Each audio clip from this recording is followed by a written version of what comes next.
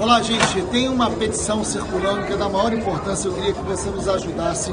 Ela chama drogastf.com.br. Entra lá, várias organizações de direitos humanos, entre elas a Conectas, está fazendo essa plataforma para que a gente possa pressionar o STF a votar a descriminalização de pequeno uso de porte de droga. Isso é muito importante no caminho da descriminalização, porque nós já vimos que a guerra às drogas significa a guerra aos lugares mais pobres, significa superlotação da população carcerária, aumento de homicídios e aumento de agentes públicos mortos. Nós não ganhamos nada com esse processo de criminalização das drogas ao longo desses anos todos. Temos que pensar em algo diferente e ser mais ousados. É muito importante a decisão do STF, que vai ser em novembro. Então entre e nos ajude a pressionar por mais democracia e pela descriminalização das drogas.